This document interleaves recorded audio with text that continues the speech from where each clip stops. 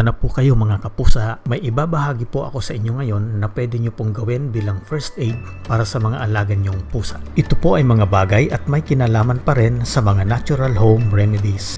Pero bago po natin ituloy, gusto ko pong maunawaan ninyo na ang lahat ng mga ibabahagi ko sa bidyong ito ay pawang mga home remedies o first aid lamang. Tandaan po natin na priority pa rin ang sumangguni sa isang professional na doktor o dalhin sa pinagkakatiwalaan ninyong vet clinic para mabigyan ng tamang pagsusuri at malapatan ng tamang gamot lalo na't nagpapakita ng seryosong karamdaman ang inyong alaga. Iisa-isahin po natin ang mga first aid na pwede nating gawin sa sandali ng pangangailangan para sa mga hal nating mga alaga. Siya nga po pala Pwede rin ito para sa mga aso. Ihanda na po ang inyong listahan at atin nang sisimulan para sa ingested poison or yung nakakain ng toxic food, raw egg whites. Yung puti lang po ha, huwag ninyong isama yung kulay dilaw yung yolk. Mabisa ito para maisuka o mailabas kung anumang substance o bagay na sanhi ng pagkakalason. Full fat milk Nakakatulong ito para ma-neutralize ang poison lalo na kung acid-based. Tandaan po natin mga kapusa na ang pagkakalason ay isang seryosong bagay lalo na't hindi natin alam kung anong klase ang sanhi ng pagkakalason. Kaya't uh, kahit nabigyan na natin ng first aid, mas uh, makabubuti pa rin na dalhin agad sa vet clinic para naman po sa nanghihina o nagtatae. Una po ay yung dextrose powder, ihalo nyo lang sa tubig kung wala naman ay pwede rin yung asukal. Pwede rin ang honey.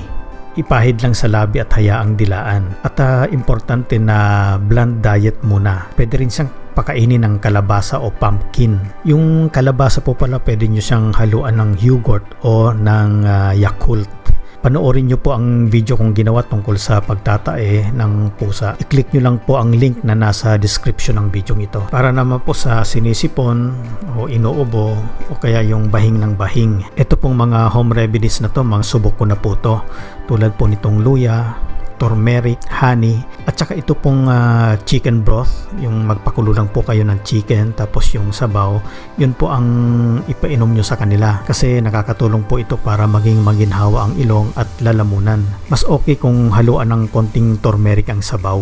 May video na rin po akong ginawa tungkol dito sa kung paano po gamitin ang sipon at ubo ng pusa. I-click nyo lang po yung link na nasa description ng video ito. Ang susunod naman po ay yung pagsusuka. Yung pagsusuka nga po pala, dalawang klase yan. Merong ordinaryong pagsusuka lang at saka yung tuloy-tuloy na pagsusuka. Pagka yung pagsusuka niya po ay ordinary lamang, halimbawa isa or dalawang beses lang at hindi naman tuloy-tuloy, pwede nyo pong gamitan ng honey. Ipahid lang po sa labi at hayaan nyo pong dilaan niya lang. Ito po ay para makomfort yung kanyang lalamunan at mawala yung pananakit ng kanyang chan at niyang throat. Ang honey po kasi nakakapag-relax po ng lalamunan at uh, nawawala rin po yung pagiging irritated ng lalamunan ng pusa. Kapag napansin nyo naman po na tuloy-tuloy yung pagsusuka ng alaga nyo, mas mabuti po na dalhin po agad sa pinakamalapit na vet clinic para masuri agad at uh, mabigyan ng tamang gamot. Ito po napaka-common nito para sa mga alaga natin pusa. Yung po bang madalas nawawalan sila ng ganang kumain. Ang pusa po kasi uh, natural po sa kanila nila ang pagiging picky eater yung mapili sila sa pagkain. Kung napapansin nyo na talagang wala siyang ganang kumain, ilang oras niyang sinerve nyo yung food niya pero hindi pa rin ginagalaw, ito po ang mga dapat nyong gawin. Ang i-offer nyo po sa kanya ay yung wet cat food. Initin nyo lang ng bahagya, then uh, yun ang iserve nyo sa kanya pero wag yung masyadong mainit. Pagka nainit po kasi yung pagkain, lumalabas yung flavor nito at yung aroma. Ang pusa po kasi masyadong masila ng pang-amoy niyan. Kung talagang uh, ayaw pang kumain, kumain, uh, pwede nyo po siyang i-force feed ng Cerelac, yung pagkain po ng bata. Pero wag po yung milk variety. Konti-konti lang po ang pagpapakain, gamitan nyo ng syringe. Ito po, uh, common din po ito na nangyayari sa mga alaga natin. Yung constipation, ito po yung nahihirapan o hindi makapoop Ito po mga first aid para sa constipation. Una po ay yung pediatric suppository o yung glycerin laxative. Kung yung alaga nyo naman ay yung malalaking breed o aso, pwede po yung regular suppository.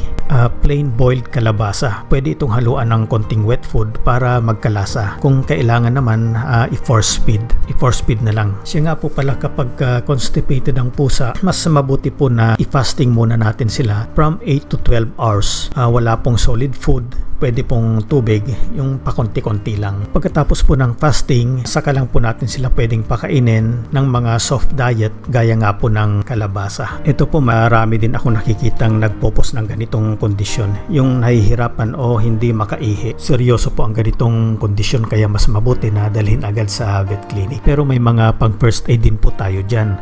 Tulad po ng organic cranberry juice, parsley leaves, pakuluan lang, then yung sambong, pakuluan lang din po at yun ang ipainom. Ito po napaka-common din po nito. Ito yung lagnat. Ito po ang first aid dyan. Apple cider vinegar o kung wala naman pwede na po yung ordinaryong suka. Ihalo nyo lang po sa tubig then gumamit po kayo ng face towel, dampian ang mga talampakan, yung armpits, yung chan at saka yung mga tenga niya. Ulit-ulitin nyo lamang po ang prosesong ito hanggang sa bumalik ang normal body temperature. Ngayon kung wala pong pagbabago o lalong tumataas ang lagnat, dalhin nyo po agad sa vet clinic para naman po sa sirang ngipin or yung merong gingivitis.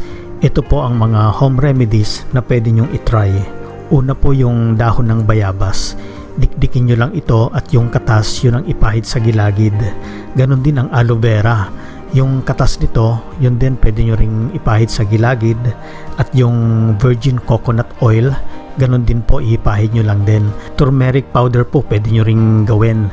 Ang gagawin nyo lang sa turmeric powder ibudbud nyo lang sa kanyang pagkain bago nyo iserve pag may kuto nga po pala, ganito lang gawin nyo. Maglaga lang kayo ng lemon or kalamansi. Hatiin nyo lang sa dalawa kasama balat. Kapag uh, yung pinagpakuluan na tubig, yun ang palamigin nyo at yun ang gamitin nyong ipahid sa kanyang katawan or i-spray. Apple cider vinegar po mabisa din. Pero ang gamitin nyo yung organic, wag yung synthetic. Ihalo nyo lang sa tubig at yun ang i-spray nyo or ipahid nyo sa katawan. Pakilike na lang po kung nagustuhan nyo ang mga videos. Share nyo na rin para mas marami pa tayong matulungan at huwag po kalimutang mag-subscribe. Yung tungkol po sa ringworms at ear mites, uh, click nyo lang po yung link sa description ng video ito para mapanood nyo rin. Hanggang dito na lamang po mga kapusa. Kung may mga alam pa po kayong first aid o home remedies, mag-comment lang po.